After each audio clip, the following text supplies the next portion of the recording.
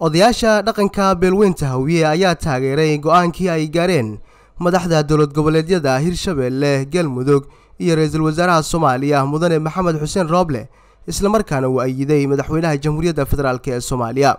Waxgaradka beelweynta hawiye oo maanta kulan ku yeeshay muqdisho ayaa sheegay in go'aankaasi uu yahay mid ka tarjumaya maslaxadda ummadda soomaaliyeed gaar ahaan dadyowga reer muqdisho oo maalmihii la soo dhaafay ay la soo gudboonaatay xaalad aad u adag imaam cumar macalin abshir xaashi maxamed cadow garaad aadan cilmi nabadoon macalin maxamuud cali iyo garaad cabdiqani nuur xasan oo ka hadlay kulanka ayaa sheegay in ay si weyn u soo dhoweynayaan dhammaan mas'uuliyiintii iska xil saartay badbaadinta shacabka ku nool muqdisho oo iyagu bilaabay in ay ka barakacaan guryahooda. Waxaa shirkaani maanta yahay wuxuu yahay waa soo dhoweyntii go'aamadii xalay ka soo baxay maamul goboleedyada maamulka maamul madaxweyne maamul goboleedyada galmudug iyo hirshabeelle iyo xafiiska ra'iisul wasaaraha jamhuuriyadda iyo gebangabadii madaxtooyada warkii ka soo baxay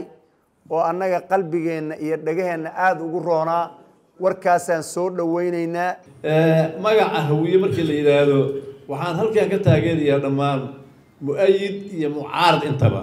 Sababta waxaa weeye waxaa laga dagaalamayey oo buuq ka jiray oo dagaalku ka jiray waxay ahayd labada sano.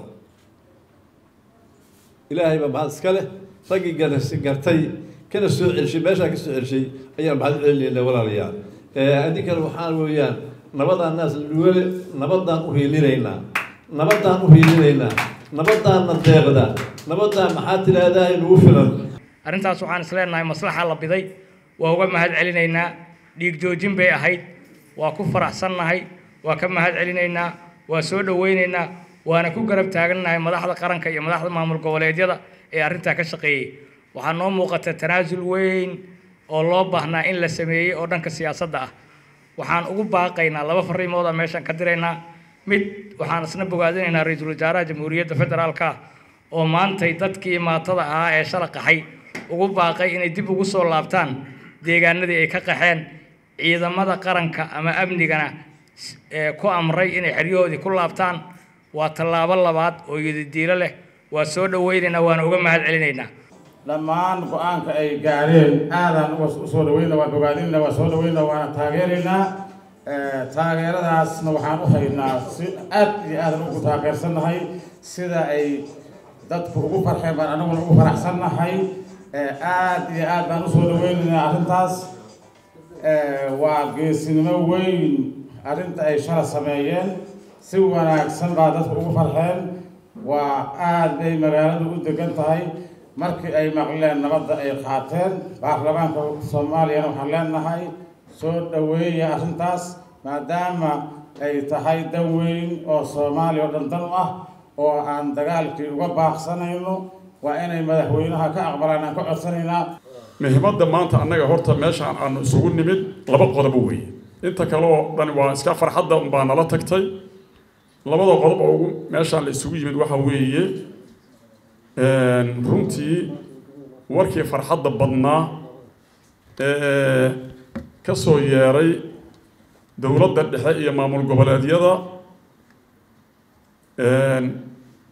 oo aada iyo aada u qiimaha badnaa ayadoo dadku tiiraayin badan ay ku taagan tahay warkaas in la bogaadiyo la soo dhoweeyo la taageero horta midda ugu weyne middaas weeye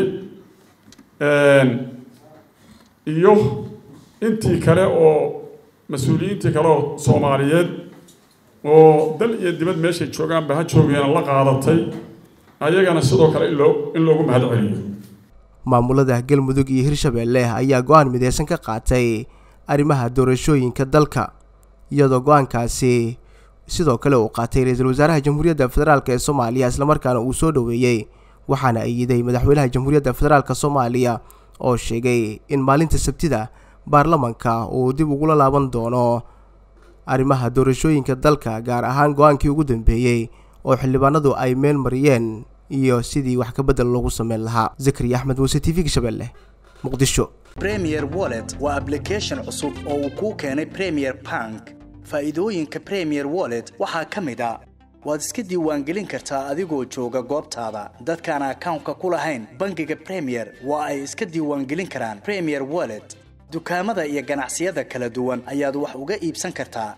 Lacagaha waxbarashada caafimaadka korontada ayaad ku bixin kartaa lacag ayaad u diri kartaa qof kale laguguna soo diri karaa si fudud.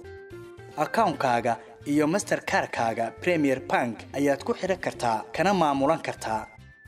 Lacag ayaad ka dalban kartaa asxaabtaada ama waad oggolaan kartaa lacag lagaa soo dalbaday. Dhaqdhaqaaqa lacagahaagana waad kala socon kartaa. Ganacsiyadu waxa ay leeyihiin ab u gaar ah oo ay kala socon karaan xogta lacag bixinta macaamiishooda.